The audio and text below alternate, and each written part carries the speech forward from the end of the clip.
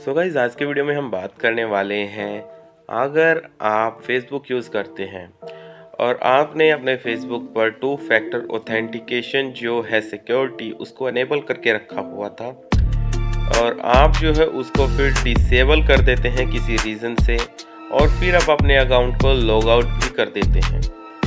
Then कुछ time बाद फिर आप लॉग इन करने का ट्राई करते हैं अपने फेसबुक अकाउंट को तो फिर से आपको यहाँ पर लॉगिन करते ही ये देखने को मिलता है keep your account safe enable two factor authentication आपको यहाँ पर बोलता है कि आप अपने टू फैक्टर ऑथेंटिकेशन लगा लीजिए अपने अकाउंट पर। आप उसको अनेबल करने के लिए अनेबल पर क्लिक भी कर देते हैं अनेबल टू फैक्टर ऑथेंटिकेशन पर बट यहाँ पर अनेबल नहीं हो पाता है और आप जो है अपने अकाउंट को यूज़ भी नहीं कर पाते हैं। ना ही आप जो है अनेबल कर पाते हैं टू फैक्टर ऑथेंटिकेशन को।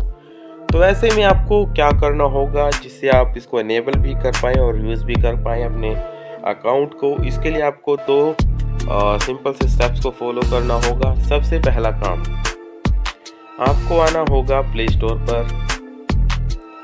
प्ले स्टोर में आने के बाद यहाँ पर आपको फेसबुक को सर्च करना है। फेसबुक को ओपन करने के बाद यहाँ पर नीचे आपको देखने को मिलेगा ऐप सपोर्ट इस पर आपको क्लिक करना है।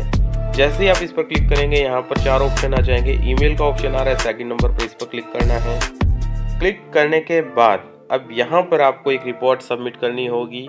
वो रिपोर्ट क्या है, वो जान लीजिए। आपको यहाँ पर देखने को मिलती है रिपोर्ट।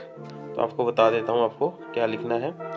आपको लिखना है dear Facebook team I am I am a user of Facebook and I am facing a problem when I am remove two factor authentication from my account then i was not able to log in facebook it show a error keep your account safe and also i can't turn on two factor authentication please fix this problem as soon as possible thank you यहाँ पर आपको अपना phone number लिखना है और my Facebook account यहाँ पर अपना फेसबुक अकाउंट लिखकर यहाँ पर इसको ऊपर की तरफ़ क्लिक करके सेंड कर देना है ये काम फर्स्टली आपको करना होगा देन उसके बाद आपको क्या करना है अगर ये काम आपका नहीं बनता है तो उसके बाद आपको एक और काम कर लेना है।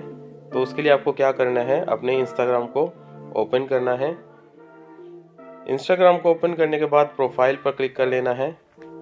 प्रोफ़ाइल पर क्लिक करने के बाद ऊपर थ्री लाइंस देखने को मिल रही हैं। इस पर क्लिक करिए।